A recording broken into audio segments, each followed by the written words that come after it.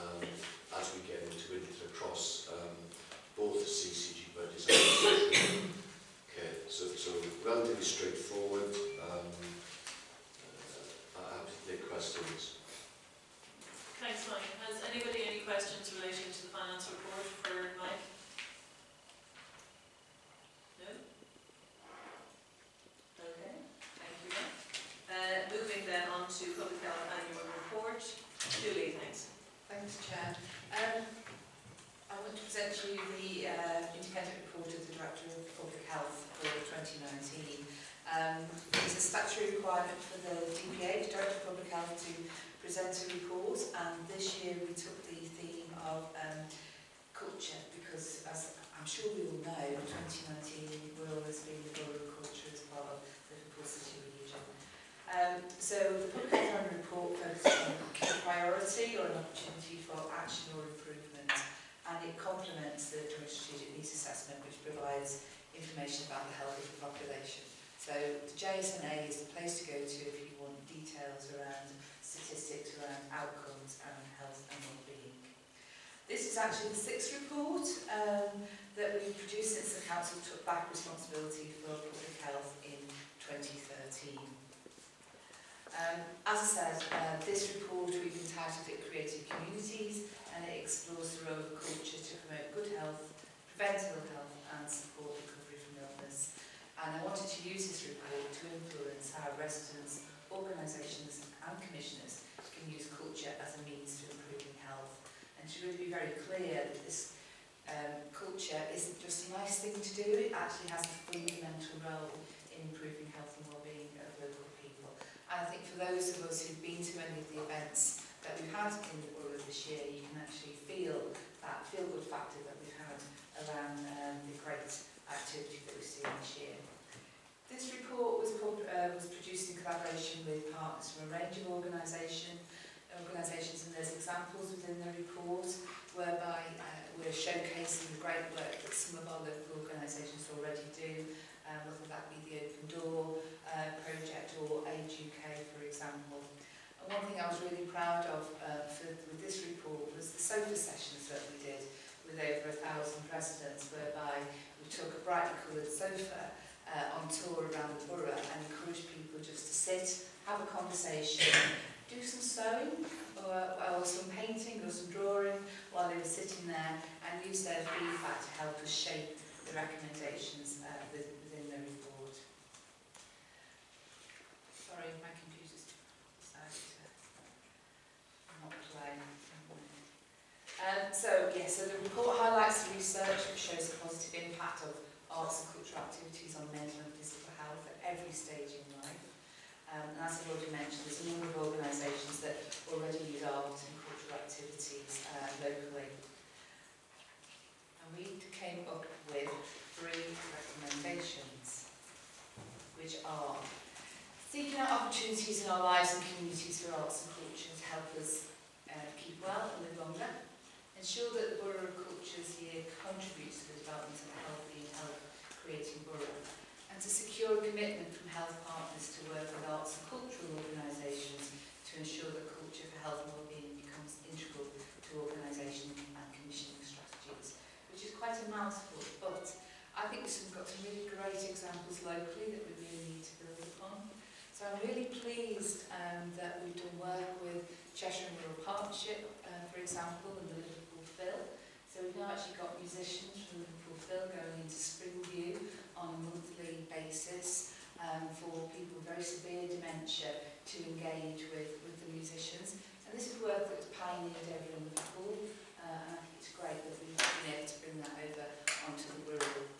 We've also started talking to Cheshire and Wirral Partnership around the libraries review that's happening within the council and how CWP can in with making our libraries that resource that we know that they can be and that they are within local communities, but how can we take it that one step further? I think other opportunities that we've got going forward are particularly linked to the social prescribing developments that are uh, going to be happening within primary care and how can we make sure that culture and well-being uh, is integral with our social prescribing model. We talk quite a lot about Cheshire Wirral Partnership and sometimes that seems like the natural fit but I think we also need to open those conversations and debates with our acute hospital and with our community trust as well. And I know they're open to that conversation um, and I look forward to, to having those conversations um, throughout the coming, coming years. So I think I just wanted to um, present the report to yourselves, hope that you will endorse the recommendations and support its publication and look for examples. And I'd like us to be big and brave and bold around culture and well-being and for it to be seen as an integral part of health and care, not as an add-on Thanks, Julie. Um, I, I enjoyed reading it. It's a really thorough document, and it's really pleased to see the involvement of the third sector and such great involvement of the third sector. I think we've said time and time again here that we have over 1,400 third sector organisations in the Wirral and we don't utilise them enough. And, and to really see this, you know, come to fruition and, and how we can take that forward is, is really useful. Um, it, bringing in that culture and, and embedding that culture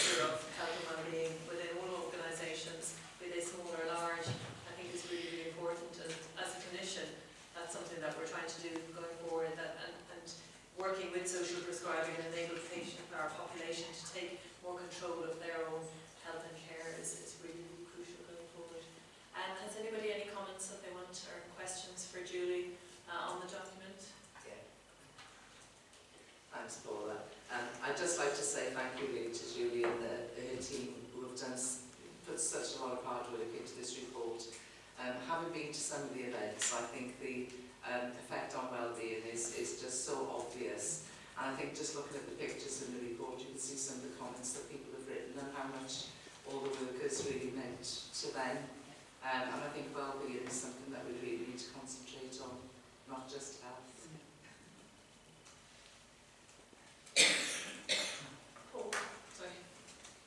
Uh, just to play really, because I know sort of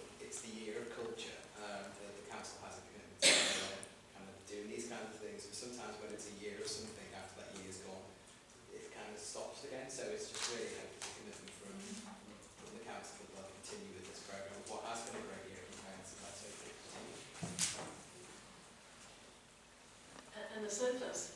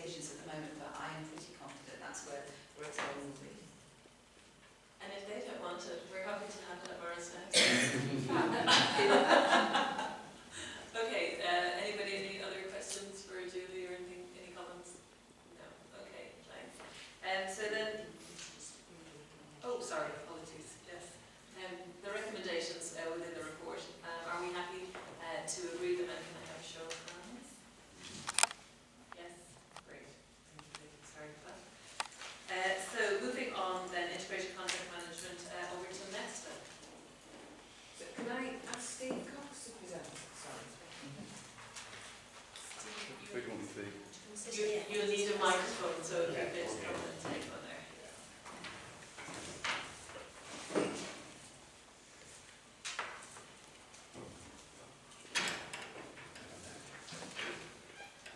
This is just a sort of an update paper as to the work we're doing across the council and the CCG and Treasury working on um, contract management, procurement and commissioning. Some of the quick wins we've done in that first uh,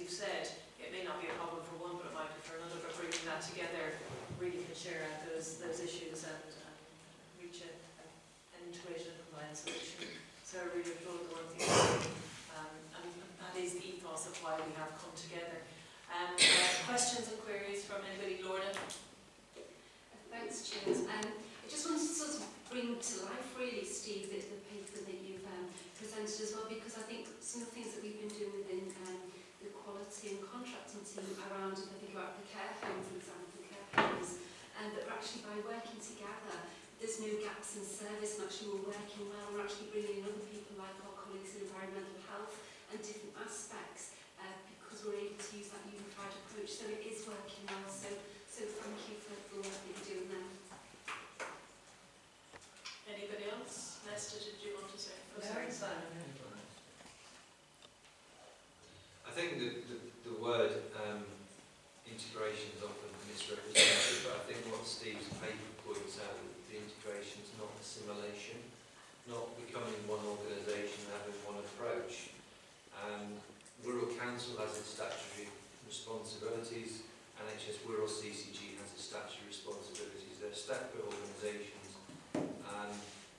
With some element of shared governance. Um, and therefore, it is some, we have to work out a way in which we do what is best for the population of Wirral, staying within the law and making best use of the resources we have within Wirral, so not unnecessarily using public money to take forward procurements when actually the result of working better together uh, across with, with um, existing providers and improving that is, is, is the best way forward. I yet we can say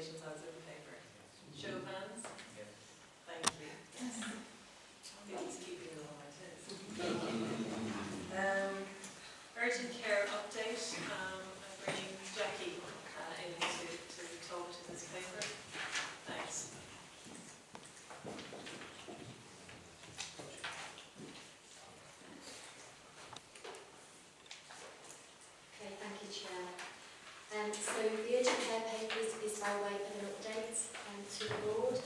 Um, so I'm not going to go through all, all the details, but just to pull out a few of the main points and then ask, uh, answer any questions.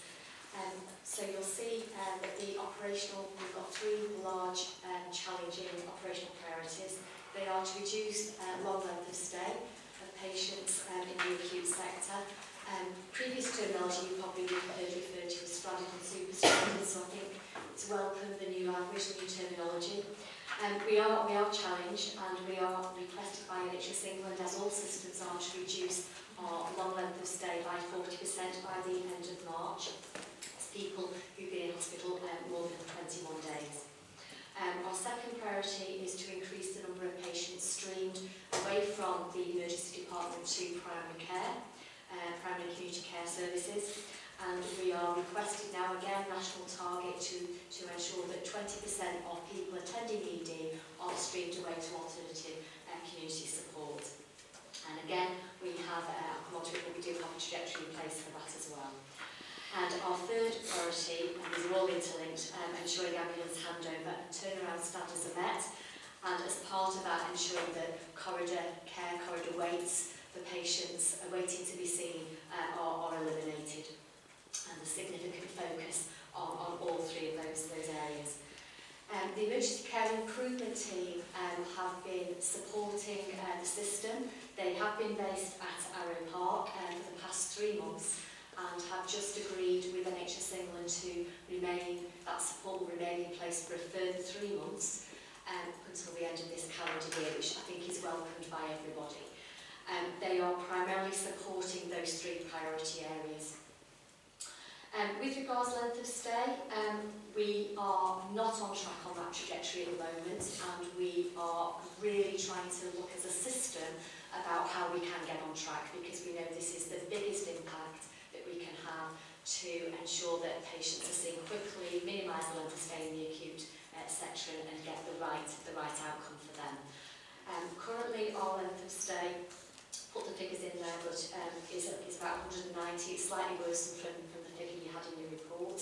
We need to be at 107 by the end of March, um, and a lot of focus, uh, a lot of redesign work to make sure that the integrated discharge team uh, is supporting wards appropriately, um, people are being seen um, quickly, robust ward rounds, so a lot of um, internal and external transformation work um, underway to improve that long life of stone. We've also uh, put in an additional system lead at a very senior level um, who is based at the Acute Trust supporting the ward-based care and the integrated discharge team to really try and get some extra traction around improving that patient experience and getting their performance back on track. Uh, the streaming, um, I can confirm that we've had some changes in our approach to streaming. Um, this 20% target is on track and uh, on Monday, uh, well actually yesterday, um, our target is, is to get 50 people a day, that's how that target breaks down, streamed to primary community care. Uh, yesterday in hours 29 people were streamed away and out of hours 20, so one of the targets. So um, whilst it is a bit of fluctuation at the moment, day by day, we're seeing a real improvement and we are determined to make sure that we hit that trajectory and that's going to be right for, for patients. Um, we are looking at investments in point of care testing and other diagnostics um, in, in the walking centre next door um, so that um, primary care can support more people than are currently being seen in ED. So a lot of uh, additional investment and uh, different ways of responding are being explored. Uh, we are looking at, for the winter, uh, additional um, resources going to supporting people with respiratory conditions um, and those, those additional services will be in place um, by, by the beginning of December. Uh, so quite a lot of work underway to improve streaming. And then I guess finally the, the third priority area is ambulance handover and turnaround. We saw significant improvement um, to eliminate college care over the past few months and have ambulance handover and turnaround time significantly improved. However, we saw a dip at half-term week. We are having a look as a system around our, um, our staffing model and better planning for pockets of pressure where we know half-term, winter, summer holiday periods where we know things are tight to actually maintain good performance in those areas. So we're, we're actively looking at how we can better plan um, for that at the moment. So apart from that blip at the half-term week, we are seeing um, much improved handover times and have had very, very few people uh, waiting in corridors. Um, finally, just to draw attention to section 3.10, um, just to really um, share with people the range of work that is being done right across the system to improve urgent care and improve the patient experience and outcomes. Um, including single point of access, really looking at how ambulances can be diverted appropriately without always needing to turn up to the emergency department, improving our community intermediate um, bed-based provision and our home-based services. So there's just a flavour of the things that are being done in section 3.10. And then finally, just to um, give you uh, an update around the development of the Urgent Treatment Centre. Do have an appendix in your paper, Appendix 1 to the Urgent Care paper. I think most people are familiar with that uh, content on that sheet that describes the current position and intentions. But the, the little bits that are new, I think since it was shared, is that the, we are looking at an interim urgent treatment centre um, being available up and running by the 16th of December, really looking at how we better use the, the walking centre on site. Um, and that estate work has commenced, and as I say, that will look to go as an interim on the 16th of, of December um, to be operational. Um, also developing point of care testing mini labs in the UTC, um, focusing on workforce training.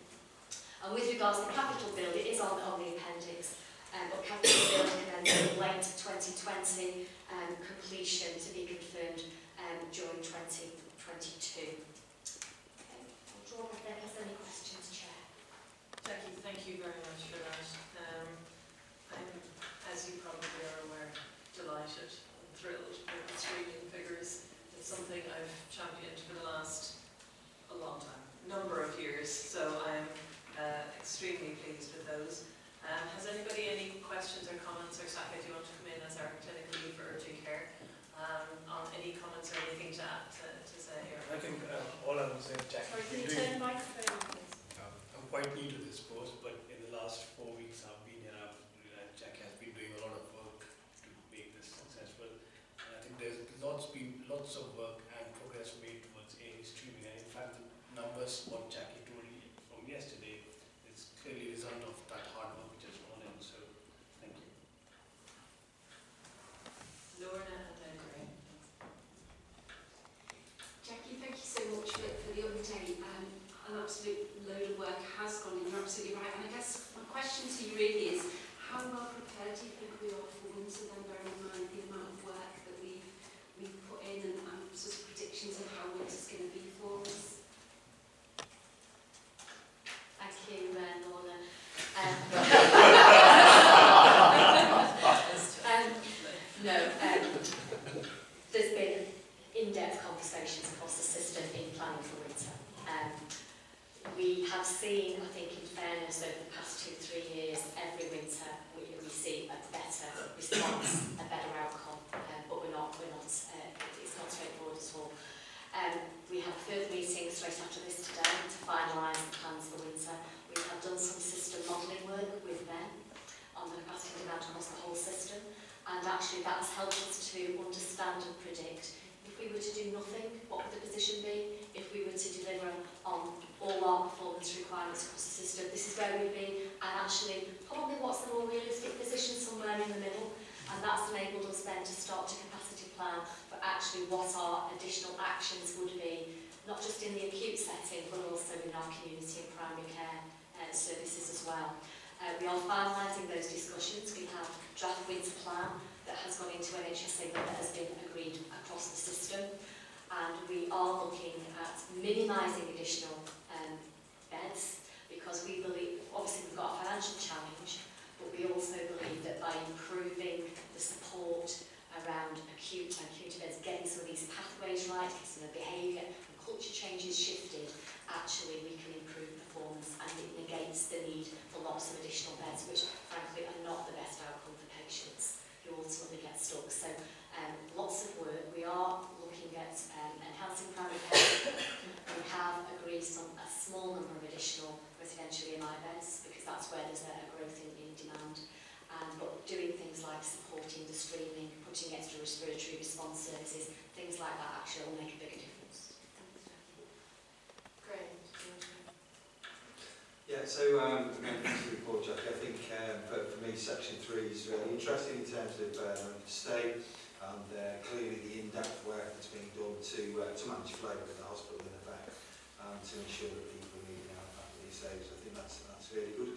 Um, in terms of the, the web set out here, I think that, you know, again, it, it speaks for itself in terms of the, the strength and depth of, of that work and taking place across organisations.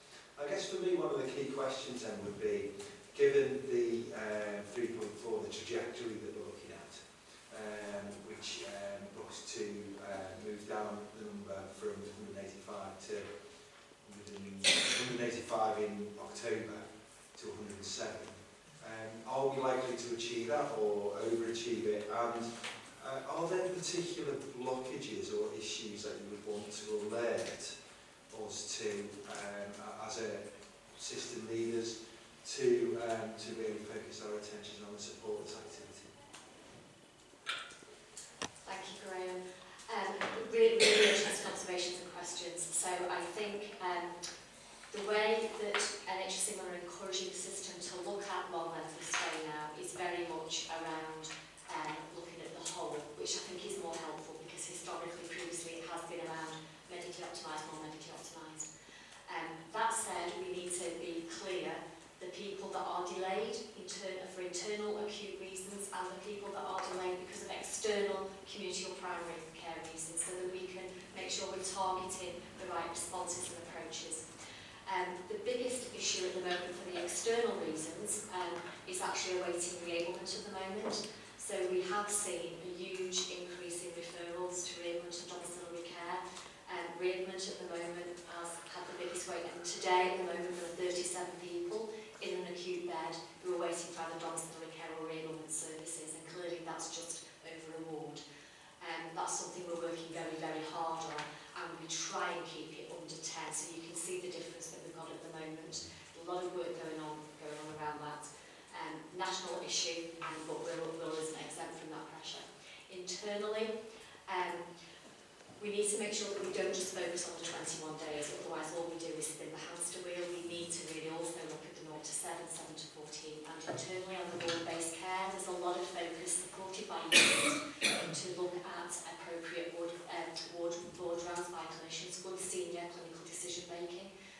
sure don't want to get into too much jargon, but everybody has a green day as a patient, that every day is meaningful, there's appropriate test or progress being made, and there's not what we would call a red day where somebody actually hasn't any, any active progress being made against for that, for that patient.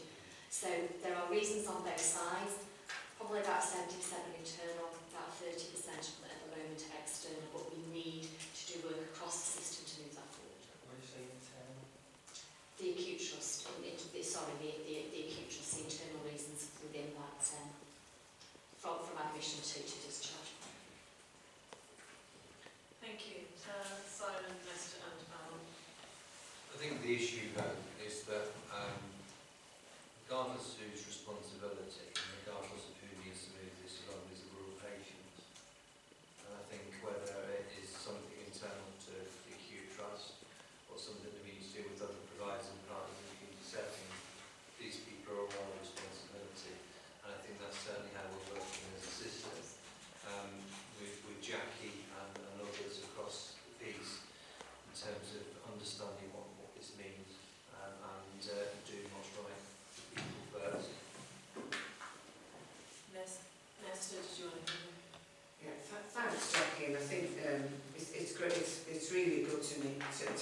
shared here all of the hard work that I know yourself and the team are doing. And I suppose it's going on from what Graham was asking me, because I understand about that a lot of the, the, uh, the work is about internal into, into the hospital. And it's just, is there anything more you, you believe that we, sh we can help with from the commissioning side in, in terms of either supporting the hospital or, or any part of the system? Do, do you think there's any area in particular for, for thinking of the audience here today?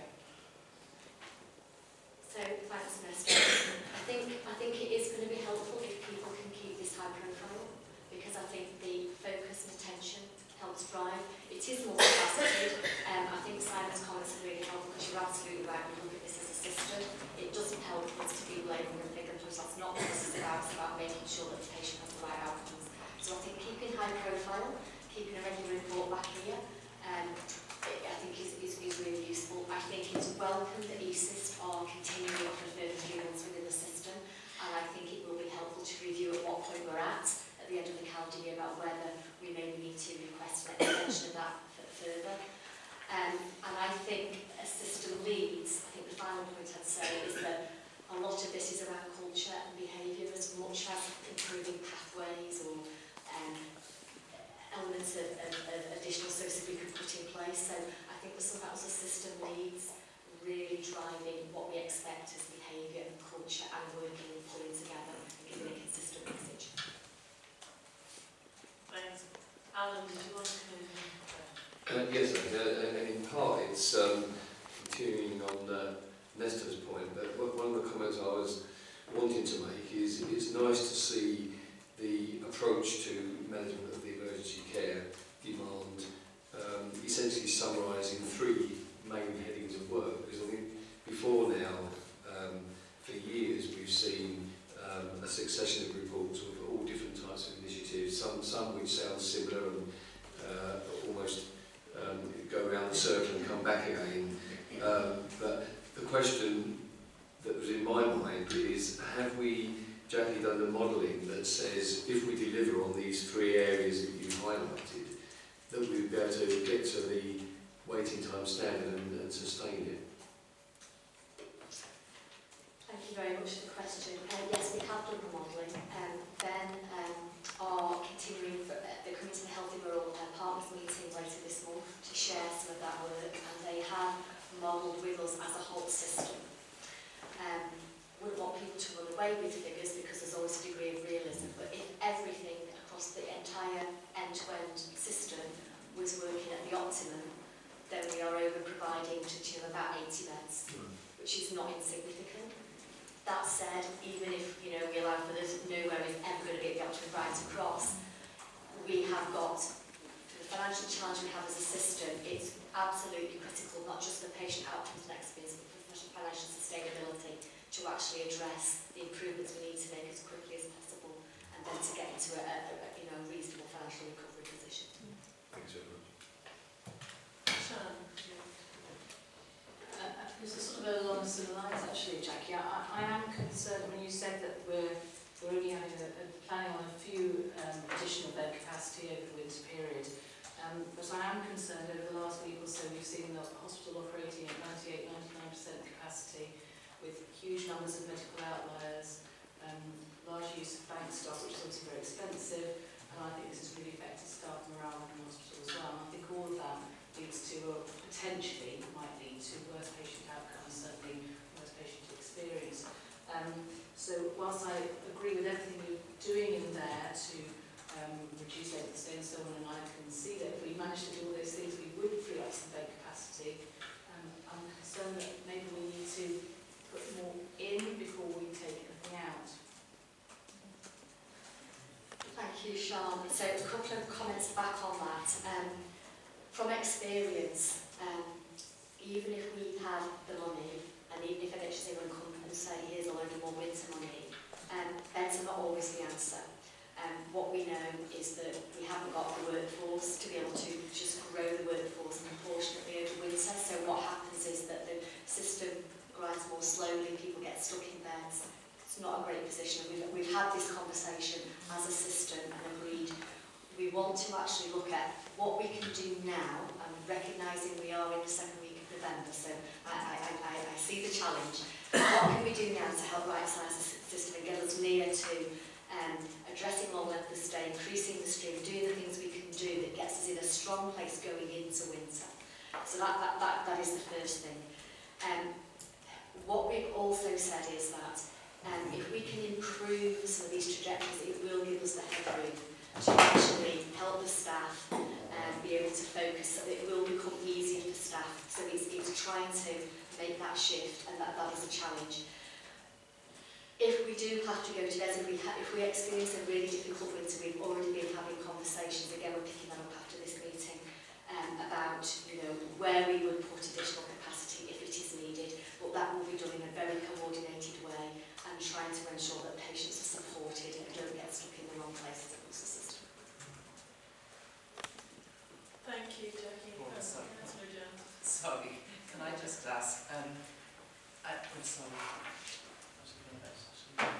Um, thanks Jackie, it's um, really interesting I think to, to see the way they start to think out of the box in lots of, of, of ways. I was just wondering about the 20% um, being streamed back into primary care, going up to 40%. Is there the GP capacity really to, because obviously if they're going in, is this the extra hour GPs or is it just wants a little bit more? really? Yes, Thank that's you. fine. So um, it's a combination. Um, so we've obviously got we've obviously got the growth in um, primary care extended access hours. Um, so 111, obviously, as you know, the 111 service is, is supporting and diverting as many people as they can appropriately to the, the extended access hours, etc., rather than directing people to ED. So that is having an absolute impact. Teletriage and the GP support to teletriage, GP nurse support is making a huge difference, really positive outcomes, and we've seen huge correlation of reduction of, of ED attendances as a result of those, th those things as well. But with regards to the walk-in centre, as is at the moment, before it becomes this interim UTC, um, we have primary care community services, as you know, based uh, on site at Arrowe Park in that current walk-in provision. and um, there is capacity, we've been keeping a close eye on that, there is capacity um, for primary care to increase the numbers referred and we're watching that very closely at the moment. So yes, to answer, and if we can get the point of care testing those other things, it will really help see a bit of a shift. So yes.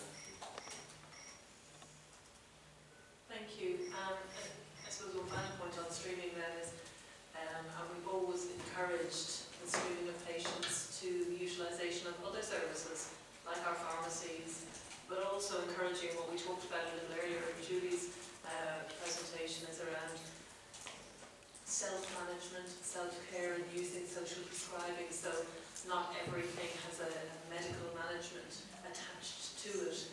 And, and the ethos behind streaming is that patients or our population are aware of where to seek uh, care and, and, and when, the need arises. But that doesn't necessarily have to be within a GP surgery or within a hospital. It could be within their pharmacy or utilising the community connectors and, and uh, social prescribing. So I just want to thank you, Jackie, for uh, presenting the paper today. I think it really demonstrates the work that is ongoing uh, across our system because managing urgent care is a system issue and it demonstrates the work and coming together of all those organisations and the system and where there are pressures in one, there are pressures in the other, but it, it shows that working across the system and working together so that we can deliver good, safe, quality care to our population. Um, so I just want to finally ask our members of the JSCB happy to uh, uh, to note the contents of this report.